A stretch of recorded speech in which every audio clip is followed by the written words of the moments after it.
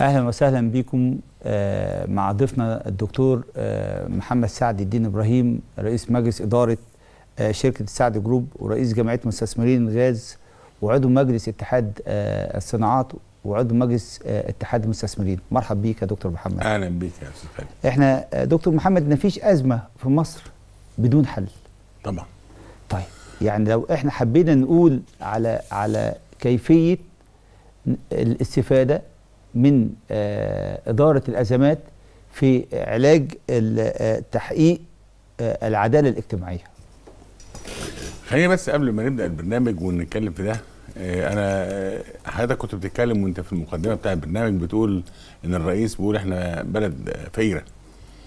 أنا إحنا بس فقراء قوي آه. وغلابة أنا ليا قوي. تعليق على الكلام ده. تمام. هو عنده حق في اللي قاله بس هو ما يقصدش المغزى اللي أنت فاهمه إن البلد فقيرة. إحنا بلدنا غنية جدا بإمكانياتها. لكن هي فقيرة زي ما تقول إيه؟ زي ما يكون واحد عنده أسس كتير وعقارات كتير بس ما عندوش سيولة. وما عندوش فلوس يدفع الكهرباء وما عندوش فلوس يدفع الغاز اللي جاي له. فده يعتبر في المقياس ال ال ال الوقتي فقير. إنما هو عنده حاجات تانية مش عارف يتصرف فيها. ما يعرفش يبيعها. ما يعرفش يجيبها النهارده. ما يعرفش يغيرها. لكن إحنا بلدنا غنية جدا. عندنا موارد كتير جدا. وده اللي هو بيعمله النهارده. هو بيحاول إن هو يستثمر الموارد دي ويستغلها أحسن أنا استغلال. بتكلم على اللفظ يا دكتور محمد لأن هو اللفظ كان معلش. كان كان مجرح آه، جدا بس لبعض العاملين من المصريين في الخارج. يمكن في الداخل متحملين. لا لا لا لكن لما يبقى واحد مصري شغال عند آه، عند أي حد في في دولة من الدول وفي النهاية يقول له أصل أنت فقير قوي أنت غلبان قوي فالكلمة لما تطلع من رأس الدولة بتبقى لا هو, هو عنده حق. لا ليه؟ بس ما يقصدش في كلمة فقير إن هو فقير عموما لا. هو في الوقت ده أنت فقير. يعني وقت ما تكون أنت مثلا فلوسك اتسرقت منك ومعكش فلوس وماشي في الشارع ومعكش تاكل أنت فقير. صحيح أنت عندك أملاك بس على ما تحولها وتجيب لك اللقطة دي فقير. هو جه مسك البلد في لقطة فقير. عدل الكهرباء عدل المية عدل الغاز عدل كل الحاجات دي آه. بيستغل الموارد صح لكن إحنا أغنياء. أغنياء بإمكانياتنا لكن استغلالها هو اللي كان غلط. وده بس ملحوظة نحطها وبعدين نرجع لكلامنا تاني بقى. اتفضل. بص حضرتك إحنا آه بس أنا ممكن ما اعديهاش يا دكتور محمد يعني. إحنا ممكن نقول هل هل مين اللي كان السبب في سرقة ثروات مصر خلال 60 سنة؟ الإدارة الغبية اللي كانت موجودة قبل كده. ومين كان سبب في دخولنا في في في في, في مشاكل ما خلاص ما إحنا قلنا- إقليمية وإفريقية و... أي حد بيدير عمل يا بينجحه يا بيفشله. إحنا حظنا جه كده جالنا إدارة غبية وقعتنا. بمعنى أصح كل إدارة آه، اشتغلت على النظام ال- الشيوعي والاشتراكي مفيش ولا حد في الدنيا كلها اشتغل عليه إلا وقع. وأنت من ضمنهم. إحنا هنطلع فاصل آه صغير قوي آه. ونرجع تاني لحضرتك. تحت أمرك.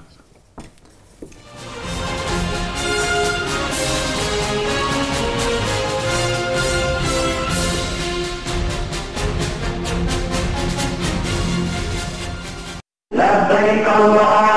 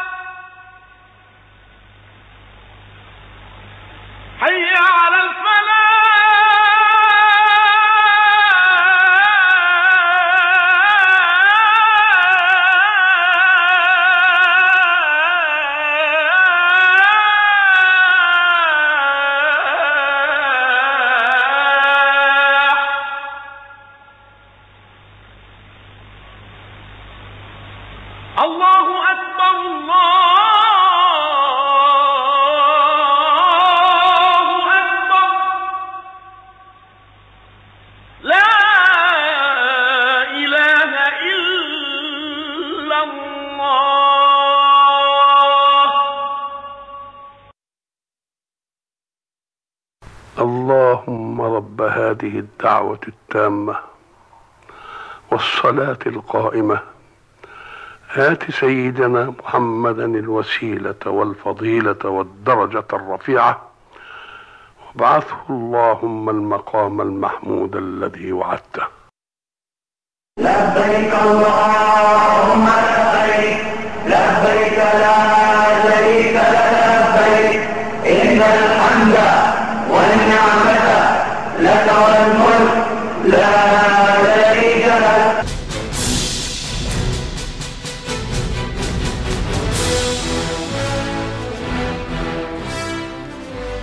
وسهلا بحضراتكم مرة تانية مع ضيفنا الدكتور آه، محمد سعد الدين إبراهيم دكتوراه في إدارة الأزمات. دكتور محمد كان آه، لنا سؤال قبل الفاصل. كيف نستفيد ب ب ب بإدارة الأزمات في تحقيق العدالة الاجتماعية؟ آه إدارة الأزمات علم. يعني آه إحنا اتعلمنا إن مفيش مشكلة إلا ولها حل. طالما اتوجدت مشكلة اتوجد لها الحل. أي أزمة لها حلول. بس إحنا بقى المفترض الفرق بين اللي بيحل أزمة بطريقة علمية وبيحلها بطريقة عشوائية إن اللي بيحل بطريقة علمية ده يحلها بحل قابل للتطبيق وغير مكلف. تمام. فأزمة العدالة الاجتماعية في مصر أساسها إن أنت ما عندكش قاعدة بيانات سليمة عشان تحقق الهدف من يعني إحنا عندنا خاصة بال- بتوزيع الدعم. تمام. يعني العدالة الاجتماعية مش موجودة عشان أنت الدولة بتدعم السلع والسلع بتروح للغني والفقير. إحنا عايزين نقول لا الغني يدفع اللي عليه الفقير يستفيد بأكتر. فاحنا الكلام ده كله محوره انك انت تعرف مين الفقير من الغني. فقلنا إيه مفيش داعي انك انت تدعم السلعة لأن السلعة رايحه للكل ما تعرفش تمشي وراها. طب هنعرف الفقير من الغني إزاي؟ سؤال بسيط جدا. بين الرقم القومي ومقدار إنفاقه. يعني إيه رقم قومي إنفاقه؟ يعني إحنا كلنا عندنا رقم قومي. فلو قلنا إحنا عندنا 60 مليون آه، رقم قومي في مصر عبارة عن الزوج والزوجة وال- وعنده اثنين أولاد يعني بنتكلم في متوسط 20 مليون أسرة. ده اللي موجود عليه. لو انت خدت الدعم وزعته على ال 20 مليون أسرة خاص بيهم كلهم وقلنا هن- هندي لكل واحد 1000 جنيه كل شهر كل أسرة. خليك معايا بس عشان أدي لك القصة للآخر. ال 1000 جنيه كل شهر دولت من بكرة وبنقول له والله كل الدعم هيترفع السلع تبقى بسعرها العادي. أنت هتدفع الألف في مثلا آه، عملت 200 مليار. لل 20 مليون أسرة في السنة. ال 200 مليار دولت إحنا بندفع دعم 340 مليار النهارده. يبقى أنت وفرت 140 مليار من أول خبطة. تعال نشوف بقى أثر ال 1000 جنيه ديت على الراجل الغني وأثره على الراجل الفقير الراجل الفقير مهما كان لما هتعوضه أنت بتاخد الرغيف العيش بكام؟ بخمسة ساغ يعني بتدفع 20 رغيف في اليوم بجنيه بقى بخمسة جنيه يبقى أنت 4 جنيه فرق. في 30 يوم ب 120 جنيه. فرق كهرباء 50 جنيه فرق بوتاجاز 100 جنيه. حسبناها لقينا إن هو maximum هيدفع 700 جنيه ويتبقى له 300 في جيبه. الراجل الغني بقى خد ال 1000 جنيه ديت بيحط عليها 30000 جنيه. عشان يعوض اللي كان بياخده من الدعم. لأنه هو لو عنده خمس ست عربيات بيدفع لهم بنزين ب 3000 جنيه هيقتل البنزين ده بس 15000 جنيه. يبقى هو كان الحكومة بتدعمه ب 13 ب 12000 جنيه بس في مادة البنزين الوحيدة اللي بقود الراجل الغلبان ده ما كانش عنده عربية بيركب مواصلات. يوم ما كانت الحكومة بتدعمه بتدعمه بالكثير 100 جنيه في الشهر اللي هي فرق المواصلات اللي بيدفعها فيبقى بتدعم ده ب 100 جنيه وبدعم راجل غني ب 12000 جنيه. في بند واحد بس اللي هو البنزين. زيه في البوتاجاز زي في أي ما هو حاجة. دايما بنسمع كلمة الدعم يروح للمستحقين الدعم للمستحقين ما هو أنا بقى وصلنا أهو. وصلنا أهو بقى. نيجي قال لك ما نعرفش السؤال من اللي كان مطروح ما نعرفش مين المستحقين. قلت له بس- بسيطة جدا. أنت رقم القومي بتاع الناس ديت كل واحد هيكتب استمارة. يقول فيها أنا بطالب أنا عايز دعم. طب تقول له أنا مش عايز منك حاجة ما تقوليش دخلك كام. قول لي بتصرف إيه في الشهر؟ يعني إيه بتصرف إيه في الشهر؟ يعني يقول اسمه وعنوانه ومراته واولاده وإحنا بنصرف كهرباء قد كده بنصرف مصاريف مدارس قد كده بنصرف مواصلات قد كده بنصرف آه، مية قد كده إيجار قد كده. لو أنت مسكت الكلام ده كله أنا عايز إنفاقه. ماليش دعوة بدخله لأن لو هقول له دخله مش هعرف أوصل معاه لحاجة. فلما يجي لي الإنفاق بتاعه الراجل اللي بيصرف لغاية 10000 جنيه في الشهر هنعتبره غلبان وياخد دعم. واللي يفوق 10000 جنيه؟ لا ما ياخدش دعم. طب دي تعرفها إزاي؟ أيوه آه. خلينا مع بعض بقى. يعني لما يجي واحد يقول لي والله أنا بدفع كهرباء 2000 جنيه في الشهر لما انت مخصص لكهرباء 2000 يبقى دخلك كام؟ عن إذنك. يعني ده من خلال إيصالات. آه، ما هو- ما هو ما هو لازم هيكون عنده. لما يجي واحد يقول لي أنا مأجر شقة ب 10000 جنيه في الشهر طب أنت دخلك كام؟ مع السلامة. لما يجي واحد يقول أنا مدخل مرادي مدارس أجنبية وبدفع للعيل 100000 جنيه في السنة. لما أنت مخصص 100000 جنيه لجزء لاولادك بالتعليم اطلع بره. واحدة واحدة كده واحد عنده شركة يطلع بره. واحد عنده عربية ثمنها 2 مليون جنيه ولا مليون جنيه. طب أنت مخصص لمواصلاتك مليون جنيه يبقى أنت دخلك كام؟ بره. يعني تك- هو تك. الأساس في الموضوع ده قاعدة البيانات؟ ال... إحنا بنقول له هتعمل الاستمارة على الرقم القومي وتطلب ان انت انت عايز دعم. يطلب الدعم. قول لي مصروفاتك كام. وأنا هاجي بعد كده بقى واحد كتب وقال لك والله أنا هكتب مصاريف قليلة عشان إيه؟ استفيد بالدعم. هيكتب مصاريف قليلة. إحنا بتوع التموين والموظفين دول كلهم هنخصص لكل واحد ألف واحد يمشي وراه. لو طلع واحد غلطان يعني واحد قال أنا مثلا باخد كهرباء ب 200 جنيه وهو بياخدها ب 2000 بدفع مصاريف مدرسة 1000 جنيه وهو بيدفع خم- 20000 جنيه. آه، فاتورة التليفون بتاعتي بقول ب 100 جنيه وهي أكتر من كده. وممكن الكلام ده يوثق من خلال فواتير موجوده هو ما لو هو قدم حاجة غلط هنقول له تعالى إحنا بن- بنفترض في الناس الثقه ويخش في مجال التهرب. هنقول له تعالى بقى. الراجل اللي بيتابع وراه ده هيجري وراه يشوف عنده غلطة في دي يقول له بعد إذنك أنت بس ما خدتش بالك ونسيت. أنت كتبت إن أنت بتدفع إيجار 500 جنيه وأنت دافع إيجار 5000 جنيه. انت غلطت في صفر. بعد إذنك انت خدت منك كام شهر؟ خمس شهور ب 5000 جنيه. آه هتراجع 5000 جنيه وغرامة زيهم وبره منظومة الدعم. 5000 الغرامة ديت هتتوزع على الناس دول اللي هم اللي هم اكتشفوه. والناس دي هتتغير كل هل سنة. المشكلة في العدالة الاجتماعية؟ سوء التوزيع؟ طبعا سوء التوزيع. ولا ولا ولا تفاوت ال- ال- المرتبات؟ لا، لا، لا. الاقي ألاقي سوء واحد النهارده بي- بيخرج من نفس الجامعة والاقيه مثلا بتاع البترول بياخد مرتب غير بتاع النقل غير بتاع كهرباء وهم متخرجين في سنة واحدة لا موجودة. اسمح لي في فرق بين المساواة اللي انت بتتكلم عليها ديت ديت ما, ما, تخشش في عداله اجتماعية. اللي يخش في عداله اجتماعية ان يكون واحد بيبذل مجهود زي زي التاني وده ياخد أقل منه. أو واحد عنده مهارات أكتر من التاني لازم ياخد أكتر منه. ما, ما ينفعش يتساووا. في فرق بين ان انت تقول مساواة وعدالة اجتماعية. عدالة اجتماعية يعني توفر حياة كريمة للناس. دي العدالة الاجتماعية. لكن ال- التفاوت في الدخول والإمكانيات والتشغيل ده من عند ربنا وعند الناس وكل العالم ماشي كده. ما ينفعش يساوي الناس بعضهم. ما إحنا برضو عاوزين النقطة دي ما نسيبهاش. هل تفاوت الفروق والأسعار والمرتبات وحضرتك ده راجع راجع ليه؟ إحنا بقى هنطبق النقطة الثانية اتفضل. الأجر مقابل إنتاج. يعني إيه الأجر مقابل يعني أنت بتنتج كذا تاخد قد كده. ما ينفعش أسوي واحد قاعد بيروح الصبح يقعد ساعة في الشغل ويمضي ورق ويمشي واحد بيشتغل 24 ساعة. بس برضه من العداله يا دكتور محمد إن أنا أكون راجل خريج هندسة 2012 مثلا و و و و و وخمسة ستة في الدفعة. وخرجوا وراحوا اه- اه- اتعينوا في مؤسسات الدولة. ده راح التعليم وده راح البترول وده راح الكهرباء وده راح لكن في النهاية بنلاقي الخمسة ما بيقبضوش زي بعض.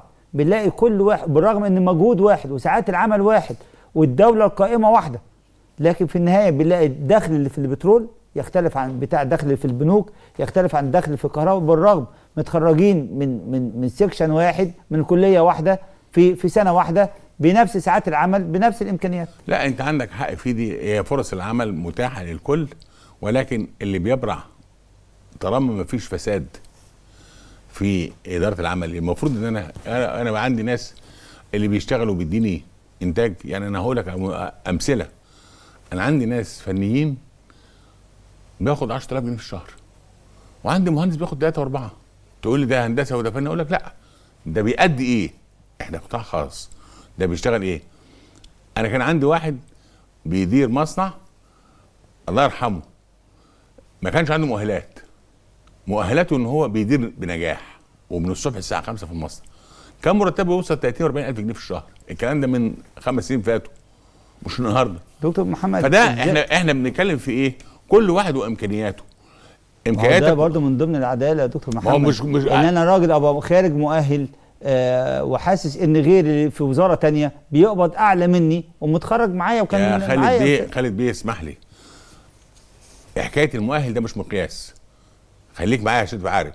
اللي بيحصل على الشهادة بطريقة ما أو بغش أو بأي حاجة أو بحفظ أو بتلقين وما هوش فاهم مش معنى إنه معاه الشهادة؟ يبقى مؤهل. مؤهل إن هو يشتغل ده. إحنا عايزين الناس المؤهل للشغل بكفاءته. فأنا ممكن يجيني خريج الكلية كلها مع بعضهم 20 واحد. هختار منهم واحد. الأنسب ليا. مش مهم هو الأعلى درجات. سيبك من حكاية بقى الأعلى درجات والتنسيق والكلام الفارغ ده. ده ما, ما, ما, ما يعني إن واحد يحفظ ويطرش ويطلع آه، معاه الشهادة ومعاها 100% آه، يبقى ناجح؟ لا. الناجح اللي بيأدي وظيفة صح. إزاي نستفيد من إدارة الأزمات آه، في حل مشكلة المرور المستعصية؟ والعاصمة بدأت للأسف خلاص فضلها شوية وتقفل بالضبه والمفتاح. بص حضرتك حكاية المرور ديت سهل جدا. بمعنى إيه؟ أزمة المرور ناتجة من الباركينج. ليه؟ لأن إحنا المحليات واللي بينه خدوا الجراشات واستخدموها كمحلات وخدوا الشوارع يستخدموها كباركينج فعملت أزمة في المرور. طيب ده حلها إزاي النهارده؟ سيبنا بقى اللي حصل. نحلها إزاي؟ هنيجي ناخد شارع ايا كان. هذا الشارع نيجي في نصه 500 متر من هنا 500 متر من هنا ونعمل جراج متعدد الطوابق. هتقول لي أجيب فلوس منين؟ إحنا عندنا فلوس متداوله في البنوك هنشتري المكان ده عمارة هنشتريها ونهدها أرض فاضية هنشتريها ونبني الجراج ده. وانس إحنا بنينا الجراج هنيجي بقى نفوت على الناس اللي في الشارع من هنا ومن هنا. نقول له أنت المحل بتاعك ده كان أصلا جراج مش هنهدهولك ومش هنلغي لك نشاطك. بس هتشتري عندي خانة في الجراج ده مقابل دي. أنت عندك بنك ما عملتش جراج له. عايز 20 جراج هتاخد 20 خانة عندي هنا. وابيع لهم ال- الخانات اللي موجودة في الجراج وايرادها يجي لهم. واللي ما معهوش فلوس هنخلي البنك يقسط له. يبقى أنا بنيت الجراجات وملكتها للناس ديت يبقى فلوسها جت من البنك وهتتسدد عن طريق ده. نيجي بقى نجيب شركة خاصة مالهاش دعوة بالمرور. نخليها في الشارع مخطط. أي واحد واقف بعربيته غلط في الشارع الراجل بتاع الونش ده هيسحبها يوديها الجراج ده. ويجي ياخدها يدفع عليها 1000 جنيه. الله تقول لي ده القانون ما بيسمحش كده لا دي أجرة الونش. شركة خاصة صاحب مصلحة. لما يجي هو بقى ياخد العربية مش هيروح يدي الراجل 50 جنيه ولا 100 جنيه لأنه already هياخد ال 1000 جنيه هياخده ما ياخده. فأنت بعد كده لما تلاقي واحد بيقول لك أنت هتقف هنا هتاخد 1000 جنيه غرامة وعربيتك هتتشال. فأنت مش هتوقفها هتقف في ال parking طب ال parking موجود وهتقدر توصل المكان اللي أنت عايزه مرتاح. يبقى انت هنا حليت المشكلة ما عادش حد يقف غلط وبعدين المتمم لها بقى انك انت تمنع اي حد يفتح محل أو بنك أو مطعم أو اي حاجة الا لما يكون موفر ال parking بتاعه. والحاجات اللي مخصوصة لل parking ما تستخدمش غير في ال parking. قول لي انت جبت الفكرة دي منين؟ اتفضل. أنا كنت في ألمانيا فكنا بعد الساعة 8 بالليل رايحين نتعشى فواحد صاحبي وقف العربية في مكان parking بتاع عيادات قفلت. ودخلنا المطعم عشان ساعة خرجنا ما لقيناش عربية. فالراجل صاحب الشركة اللي هو الحكومة الأمنية حطاه سحب كنا في عز البرد سحب العربية قدام ال parking. رحنا ناخدها دفعنا 700 يورو. هل الراجل بعد كده هيقف في المكان ده؟ لا يمكن. لا يمكن يقف في المكان ده. طب دكتور محمد آه، خلال الفترة اللي فاتت دي في في حلقتين قبل كده اتكلمت على آه، على السوق العقاري المصري والأسعار الغير طبيعية والمفروض إن إحنا نسمعها كمان 10 15 سنة. و- وده ممكن يعني أنا حتى يعني وجهت نداء للقائمين على على المشروعات القومية في في موضوع المدن الجديدة آه، إن إن الحذر وكل الحذر إن يتكرر تاني آه، الانهيار الاقتصادي العالمي زي ما حصل في 2008 ونفاجئ فيه انهيار لأن هو أول ما بدا بدأ في, في أمريكا وبدا في دبي ومن من سوق العقارات الأزمة العالمية. طب ما إحنا النهارده بنسمع أسعار في العواصم العاصمة الإدارية 27000 وفي العالمين 30000 و35000 و38000 أسعار يعني غريبة وغير طبيعية وكمان رفعت المدن اللي حواليها. يعني يعني مثلا العاصمه الإدارية رفعت القاهرة الجديدة ورفعت آه، آه، آه، مصر الجديدة ومدينة نصر. السوق العقاري راح فين؟ بص حضرتك أنا عايز بس تفرق من حاجتين. الأزمة اللي حصلت في السوق العقاري لأن كانت البنوك ممولة. السوق العقاري تمويل ضخم جدا على كل المستويات وبالتالي لما حصل دروب ما قدروش الناس يسددوا لأن الفلوس دي كانت داخل البنوك. لكن إحنا ما عندناش هنا بنوك بتمول العقارات بالمعنى اللي حصل في دبي أو اللي حصل في أمريكا. يبقى هنا في فرق بين عملية إن يحصل مشكلة أو ما تحصلش هنا إحنا عندنا سوق تنافسي. بمعنى إيه؟ اللي عنده فلوس بيدفع ويشتري. وغالبا اللي بيشتري الحاجات دي كلها زي ما أنت قلت قبل كده مجموعة من الناس هي اللي معاها فلوس وتلاقيها شارية هنا وهنا وهنا وهنا مش عامة الشعب. فدي عملية منافسة بين الناس وبعضها. لا خليني بس أناقش حضرتك في. قصة تمويل البنوك. حضرتك النهارده آه، آه، هيئة المجتمعات العمرانية بتدي بعض الشركات مثلا. زي أبراج العالمين. أنا عشان أروح أحجز فبدي النهارده مقدم وبدي الباقي بشيكات. أيوه. الشركة دي مش بتاخد ال- الشيكات بتاعتي وبتحطها في البنك وبتاخد مقابلها تمويل من البنك لا أو لا لا تغطية من لحظة- البنك؟ لحظة بس لا دي, دي مش موجودة. هو اللي بيحصل إيه؟ اتفضل. اللي بيشتري هو الشخص. والشخص ده مدخراته بيحولها الاستثمار في العقار. تمام. فده غير لما انت بتاخد قرض من البنك انت كشخص تاخد قرض من البنك فلما ما تقدرش تسدد البنك وقف وقع العقارات وقعت. ما هي إنما- ناحية عكسية يا دكتور محمد. لا لا هو أنا النهارده أنت كشركة حضرتك أنت مش أنت مش هتخدم على إنك أنت تعمل ده إلا إذا كنت عندك دخل له حضرتك كشركة. خدت مني ومن غيري ومن غيري ومن غيري البنوك مش بتكلم على الشركة لا لا الشركة حاجة الشركة حاجة لأن ديت بتدير أموال جاي لها تدفقات نقدية فهي بتاخد النهارده وتجيب التدفقات الاقساط بتاع تسدد بيها لكن اللي بتكلم فيه الشخص اللي بيشتري مفيش شخص هيشتري إلا بيشتري عنده مصدر للفلوس دي. لكن ما هو اللي, اللي كان بيحصل قبل كده كنت انت بتروح تدفع 5% وبتاخد الباقي من البنك. فانت عليك ديون للبنك. كل الناس عليها ديون للبنك.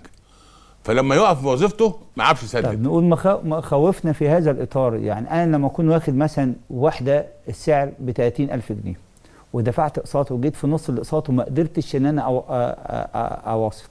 غيرك هيخش يكمل مكانك. ممكن يخش يكمل مكاني وممكن إن أنا عشان ابيع ومستعجل على ربحي ممكن أنزل بالسعر بدل ما كنت. واخده ب 30000 نزلته إلى دي-. دي إلى 20000 و15000 يبقى هنا حصل انهيار في السوق بعد ما كان سعر المتر ب 30000 نزل إلى 18000 و20000 نتيجة تعثرات لا لا لا كتيرة. بص, بص أنا أصل اتفضل. في فرق بين حاجتين زيادة الأسعار اللي حضرتك بتتكلم عليها ديت دي ما هياش زيادة خارقة المشكلة إن أنت كنت الأول الخط البلد مدعمة كل حاجة. فلما البلد بدأت يعوم الجنيه بدأت الأسعار تنط. لكن أنت ماشي طبيعي. عايز تعرف بقى قارن بين الشقة اللي هنا وبين الشقة في لندن شقة في أمريكا شقة عالميا. يعني الاستثمار عالمي العقار. طالما أنت في نفس الليفل يبقى ده يعني أنا أبقى أبقى سوق عقاري زي دبي أو زي آه، ليه طب؟ ما أشوف بقى الدخل في دبي كام؟ وأشوف ما ما الدخل هو ده اللي هيتعدل كام؟ بقى يا خالد بيه وأشوف الدخل ما هو ده اللي جاي ما هو عشان كده هو ليه إحنا بنبص للدول الغربية؟ أنا أبقى زيهم في. حاجات وما بقاش لحظة. زيهم في الكل أبقى زيهم في جزء هقول لك بس. بس تبقى عارف. ده اللي هيحصل بعد كده. بعد كده أنت مرتبات لسه تعلى ودخلهم هيعلى لأن ده التطور الطبيعي. أنت طالع من نظام شمولي لنظام رأسمالي دلوقتي خلاص. فبياخد مرحلة على أساس يعني يتغير. أيام مبارك كان شمولي؟ طبعا. أنت ب... ب... هو أنت ب... ب... ب... عندك شك في كده؟ طالما الدولة مدعمة كل حاجة ومحددة لك مرتبك ومحددة لك الاثار يبقى نظام شمولي. ما فيش فيه. النهارده بدأت البلد تشتغل صح. كل حاجة تتباع بتكلفتها. يبقى هنا الموظف نفس الشيء برضو الشاطر هيدفع هيدفع له تكلفته. بمعنى هو أنت كنت تسمع زمان إن مرتبات 50000 و100000 جنيه في الشهر؟ ما هي النهارده موجودة. فمعنى ذلك إن في فئات بتاخد مرتبات كويسة يبقى هنا الإنسان الجيد هياخد مرتب كويس. اللي إحنا بنتكلم عليه بقى متساوي مع الأسعار العالمية.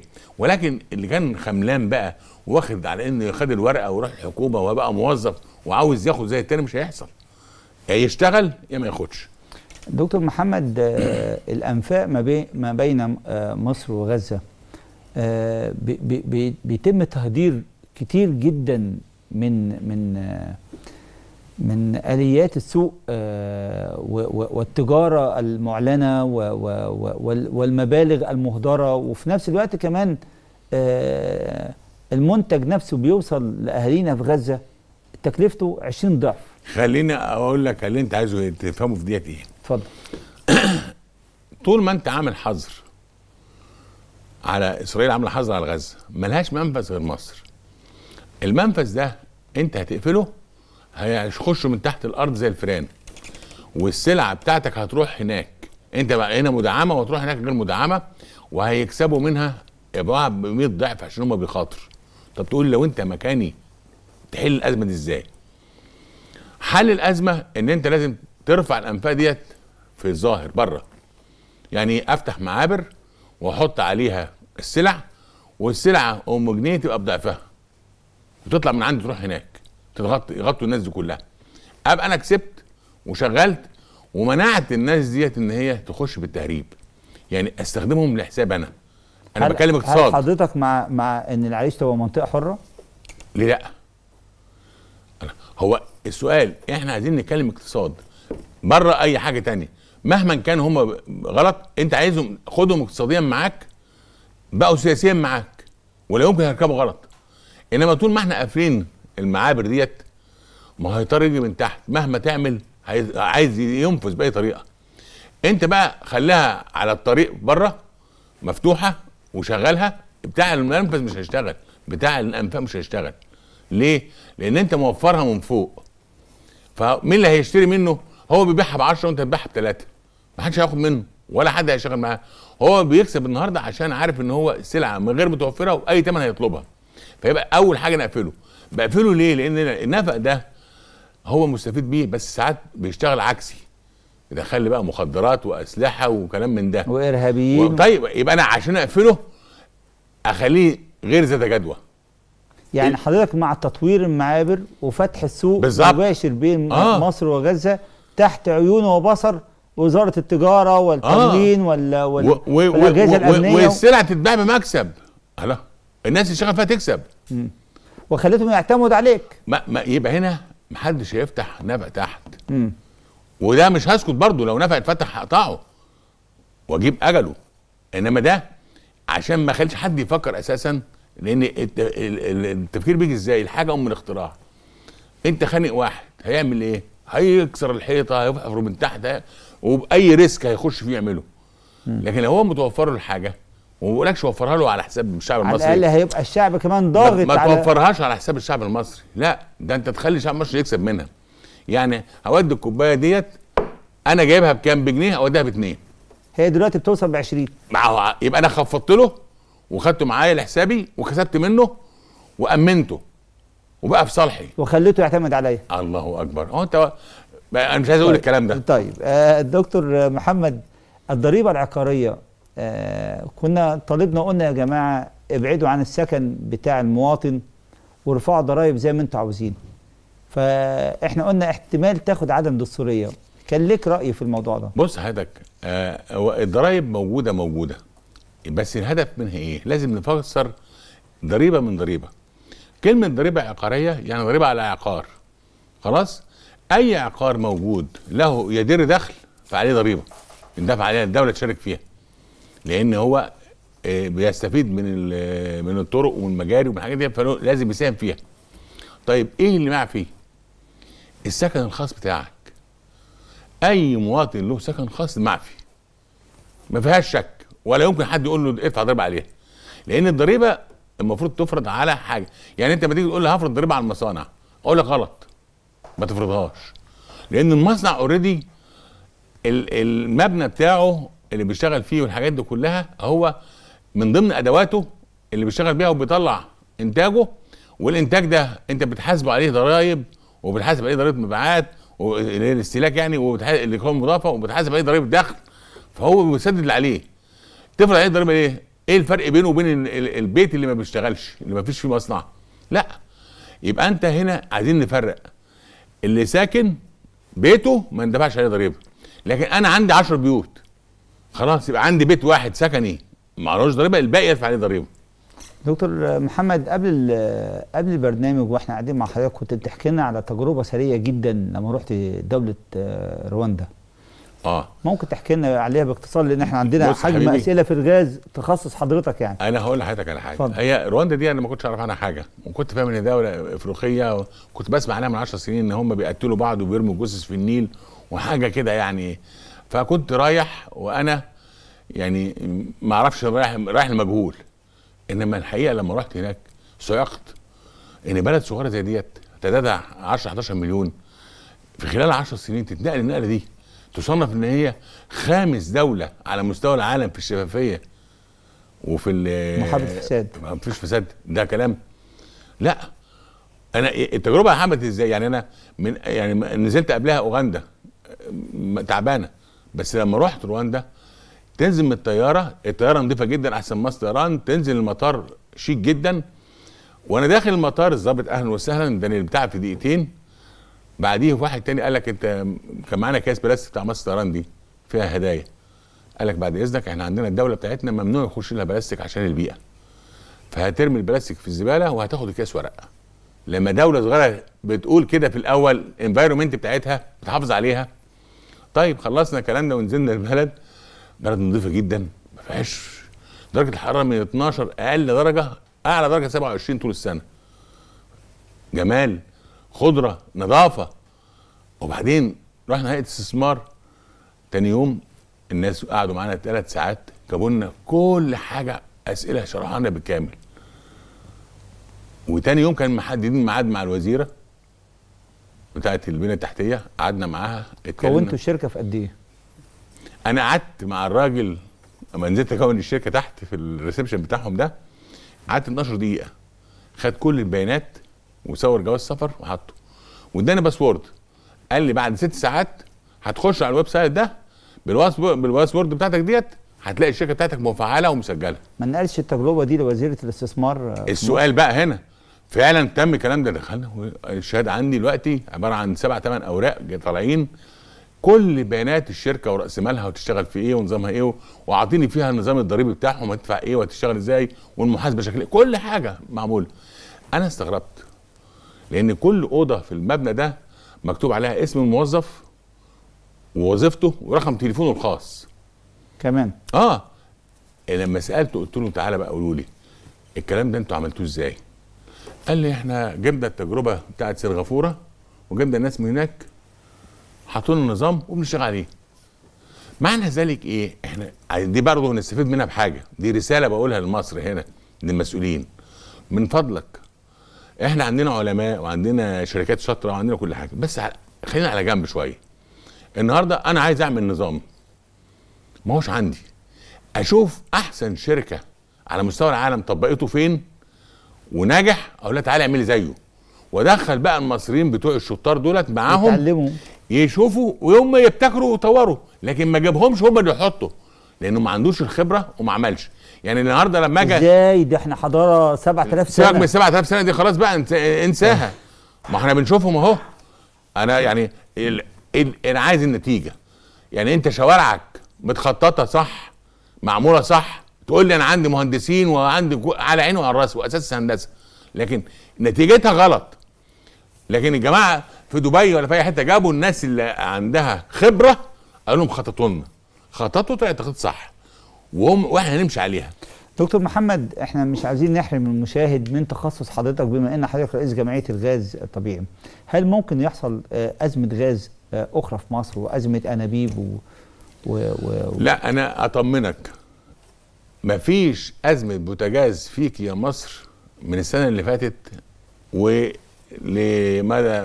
زي ما إحنا عايزين خلاص انتهت حكاية أزمات البوتاجاز انتهت لأن هم عرفوا سبب الأزمة إيه وحلوها الأزمات اللي كانت بتحصل كلها وكان كان, سبب الأزمة إيه؟ كان كلها عدم توافر الغاز دلوقتي الحمد لله ربنا ليه. عدم توافر الغاز ليه؟ لأن ما كانش عندنا مخازن استراتيجية، كان عندنا الغاز بيجي بيكفي سبعة أيام. فلو حصل أي دروب في مينا في أي حاجة في مركب في نوة آه، واحد ما وردش حصل مشكلة بيروح عامل بيخلق أزمة والأزمة بتتطور وبتمشي على طول. سيبك من حكاية إن هم بيقول لك سوق سودا والكلام يعني ده أزمة كمان غاز بعد كده إن شاء الله في مصانع أو بيوت مش هيحصل مش هيحصل لسبب أنا بقول لك. دلوقتي إحنا عملنا طاقات تخزينية كتير وفتحنا أربع مواني يستقبلوا السفن فما عادش عندك مشكلة في إنك توفر الغاز. دكتور محمد هل آه، ممكن مصر أو نسمع مصر مركز اقليمي للغاز هل في الإنتاج ولا في التق... في التسييل وال... وإعادة التقرير التقرير آه، التقرير زي زي حصل زي ما حصل كده في الغاز آه، الإسرائيلي لما جه هنا لا، لا، هل لا. إحنا يعني ننتظر شحنات أخرى من. إسرائيل وبعض الدول العربية أشرح والأوروبية أشرح لك أنا الموضوع اتفضل. يعني إيه مركز إقليمي مركز إقليمي يعني زي سوق الجملة. سوق الجملة بيعمل إيه؟ بياخد من منتجين ويدي المستهلكين عن طريق الشبكة بتاعته اللي هو حاططها وبيوزع بيها. تمام. مركز إقليمي عشان تعمل الكلام ده لازم زي ما بتعمل سوق الجملة كده يكون عندك ثلاجات وعندك إقسام وعندك مخازن وعندك حاجات وعندك عربيات ووسائل نقل وطرق عشان تشتغل الكلام ده. نفس الكلام في الغاز. إيه؟ لازم يكون عندك بنية تحتية تتحمل إن أنت تبقى مركز إقليمي. إيه التحتيه اللي عندنا؟ عندنا مصانع التسييل عندنا المواني جاهزة عندنا الشبكات بتاعة المواسير عندنا الإنتاج عندنا الخبرة لإدارة هذه الأماكن صح. وعندك السوق بتاعك.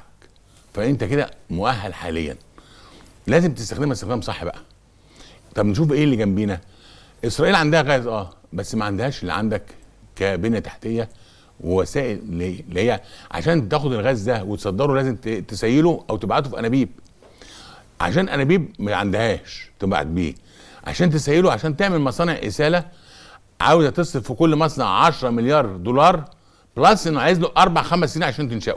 على آخر 2018 هيحصل الاكتفاء الذاتي في ما مصر. ما أنا بجالك في الكلام أهو. فمعنى ذلك إن دول غير مؤهلين. مين اللي مؤهل؟ أنت عندك مصنعين إسالة واقفين بقالهم خمس سنين. وعندك شبكة خط أنابيب جاي من من إسرائيل كان بيودي لهم غاز وموجودة. تمام. وعندك خط اللي بيجيبك من زهر من على بعد 200 كيلو جوه البحر. واصل عندك. فأنت عندك المواني بتاعتك جاهزة وعندك الشبكة جاهزة والبنية التحتيه وعندك موجودة. البنيه التحتيه موجودة. وعندك خط سمد جايب من البحر الأحمر مودي البحر المتوسط عشان تشتغل بيه الب- البواخر. فأنت عندك شبكة رهيبة تستخدمها استخدام أمثل. فأنت هنا وعندك بقى متوقع إن عندك إنتاج.